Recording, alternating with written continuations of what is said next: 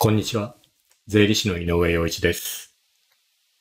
今日は Excel に経費を入力する方法ということでお伝えいたします。まあ、Excel に経理費を入力しておけば、それを会計ソフトに取り込むということができます。まあ、ひとまず入れてみるというのも手です。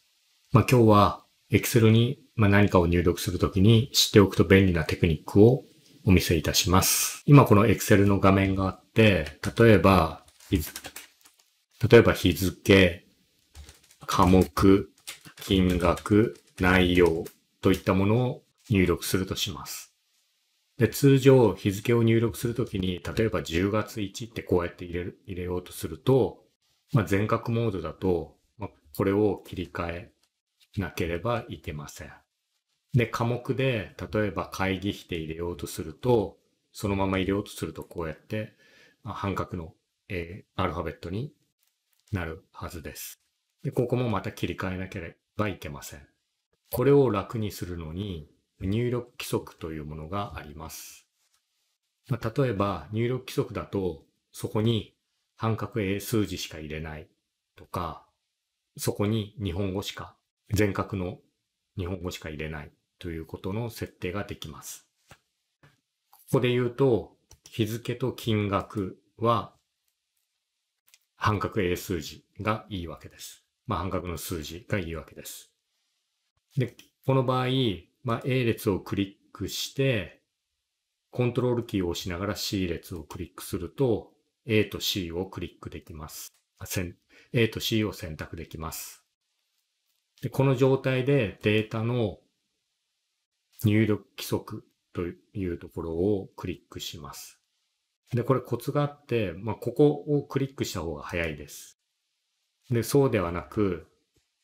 こう、ここをクリックしてしまうとまたメニューが出てきてしまいますので、まあ、このあたりをクリックするようにしていただければと思います。で、こうクリックするとこんな風なボックスが出てくるんで、ここで日本語入力の、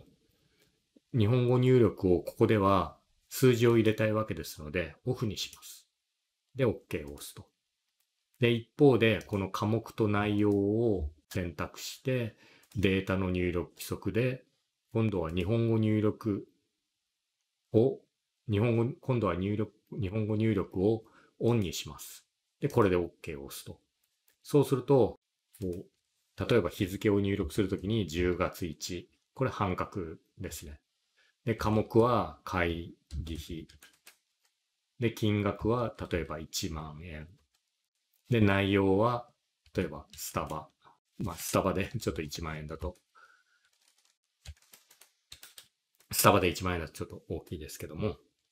こんな感じで入れることができます。で、また、ここに行って、この10月2日で、例えば、消耗品費で、まあ、110、110円。で、ダイソーでペンを買ったとかですね。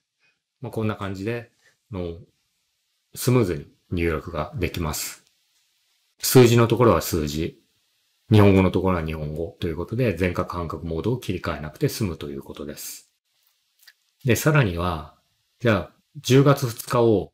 のものをもう一個打ちたいなというときは、また10月2日って入れてもいいんですけど、それよりも、コントロールキーと D を押すと、こんな感じで、上のセルのものを入力できます。で、そうすると入力も早くなります。で、これは消耗品費で、例えば220円で、ロローソンで、まあ、例えば、なんでしょう、封筒とか。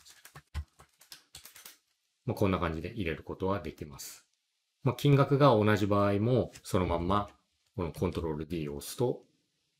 上のものをコピーできます。で、さらには、